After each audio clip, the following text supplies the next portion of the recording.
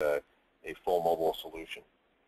Uh, we keep everything simple, so if you're used to deploying uh, our other products in the PMP portfolio, uh, sometimes also referred to as Canopy in the past, uh, you, you'll know uh, pretty much how to, how to deploy this new platform.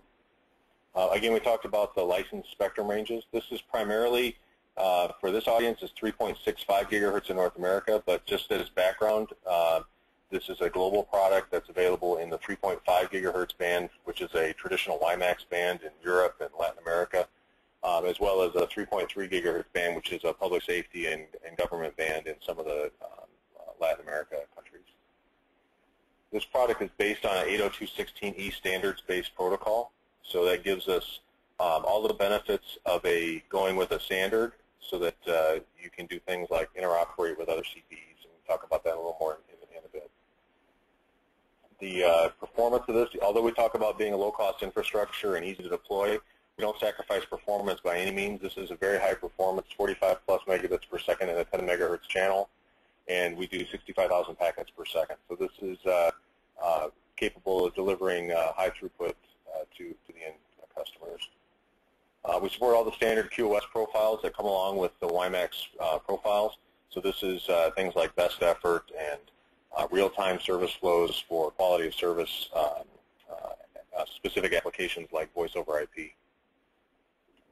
And the last thing to note is this is an all-outdoor integrated radio. So uh, in, a, in, a lot of the uh, 16D products that are out there and even some of the early 16E products, certainly the mobile 16E products, have a separation between an indoor part, part of the radio and an outdoor part of the radio. What we've done is taken it all into one, for the base station, a single radio. Put everything out on the tower, and, and that's uh, uh, really simplifies the deployment, also simplifies maintenance and uh, uh, configuration administration over time.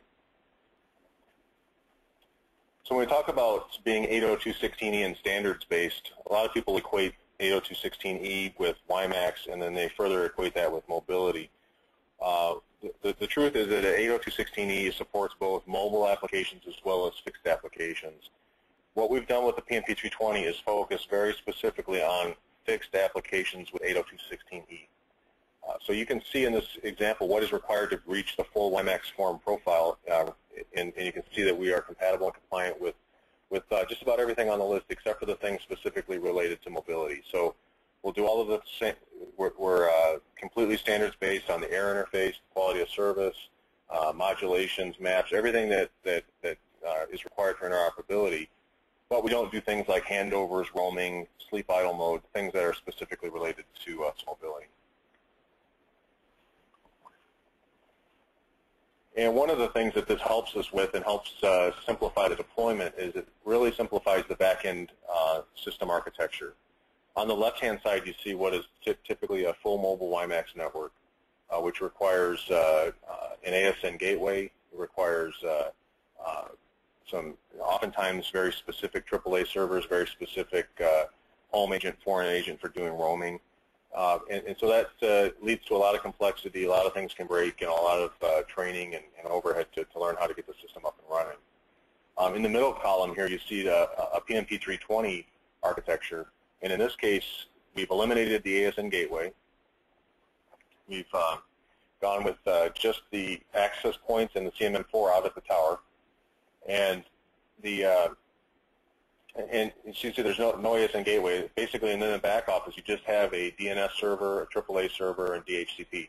And these are standard uh, servers in the back office. We don't specify a particular uh, version. Although we test and document a couple of specific AAA servers, there's really nothing to prevent uh, a service provider or network operator from selecting their own server. So we don't lock our uh, customers into using a particular uh, particular brand of server. Uh, and you'll see a reference there to the network management. We offer uh, uh, a web interface on each one of these radios, so you can certainly do everything you need to do just using the web interface on the access point and the uh, subscriber module. Uh, alternatively, you can use SNMP version 2 to access the uh, through the MIBs. You can manage all of these radios.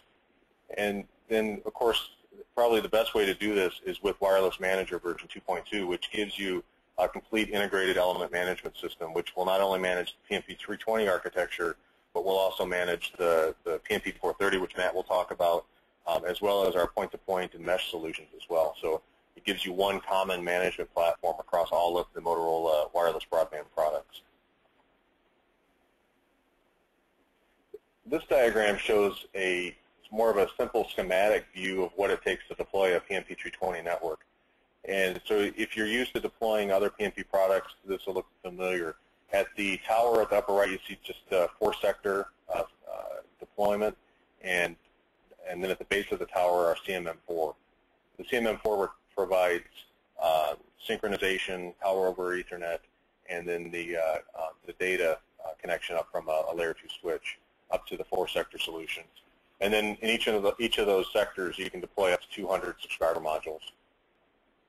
And then fed back to a centralized NOC, you have, the, the, again, the wireless manager, the AAA server, and then a DHCP server to provide the IP addresses. At the remote end where the subscriber module is, is installed, you can see it's, uh, again, a very simple deployment. You have the subscriber module with a single cable coming down to a surge suppressor and then uh, a power over Ethernet uh, injector inside the residence or business that feeds data and power over Ethernet up to the subscriber module. So again, it's a matter of, uh, uh, it's a very simple matter to deploy the, the, the subscriber module. So to kind of summarize on the architecture, uh, this is a 802.16e standards-based platform for the 3.65 gigahertz spectrum, and it's been optimized for fixed outdoor applications. And again, we've been deploying this product since the beginning of the year. We have uh, uh, literally hundreds of customers and thousands of subscriber modules and access points out there deployed. So this has now been a proven solution. Uh, while it's relatively new, uh, we're very confident and have had uh, a lot of great success in deploying this in these fixed outdoor applications. The uh, standards-based features are its 802.16e. Um, it does uh, AAA uh, authentication and radius authentication, so it uses standards-based authentication. Standards-based QoS service flows, traffic prioritization, so you can mix and match best effort internet services uh, as well as uh, your voice services and, and any kind of video or T1, E1 replacement type services. And then we support the MIMO Matrix A Matrix B, which I'll talk about here in a minute. Uh, to differentiate, we've stripped out everything related to mobility, and that includes the ASN gateway, and we focused very specifically on these six app applications. So now what I'll do is uh, give you a, a, little more detail on the product specifications so you can kind of do uh, your own analysis of the uh, uh, of what the different components, how they all fit together.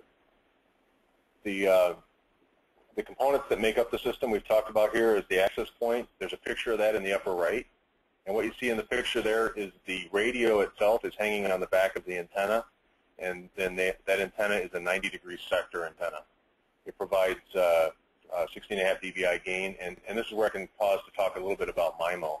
Uh, this access point is, is a, a 2 by 2 MIMO uh, uh, architecture. And so it basically has two transmitters and two receivers. Each transmitter is capable of 25 dBm uh, transmit power along with that external antenna. And what MIMO gives you, and there's actually two modes of operation with MIMO, we, what we call MIMO matrix A and MIMO matrix B. In the first mode, which it'll automatically switch to when, when the signal level and, and, and environment allows it to, it will give you some benefit in coverage so it's basically going to send the same signal on both transmitters, but, but coded slightly differently so that when the subscriber module receives that signal, it is able to pick out the best of, of both of the signals, put it back together again, and give you some gain in your uh, effective link budget. So when you're in matrix B mode, think of that as improving the coverage and the, uh, the ability to do near and online and site functional uh, connections. Then when the signal level allows, the carrier to interference noise ratio allows, the radio will automatically switch to what we call MIMO matrix B. In matrix B mode, now that those transmitters are sending two different sets of data on each of the transmitters, the SM is receiving two sets of data and, and basically um, effectively doubling the throughput. So this is how we get to those high throughputs to, uh, to individual subscribers and to fill out the entire sector at uh, 45 megabits per second. So that's MIMO matrix A and matrix B. Uh, again, a 90-degree sector is our standard configuration and up to 200 subscriber modules in each sector. The subscriber module is in a picture in the lower right. again, that's a single cable going up to that the subscriber module that's Power over Ethernet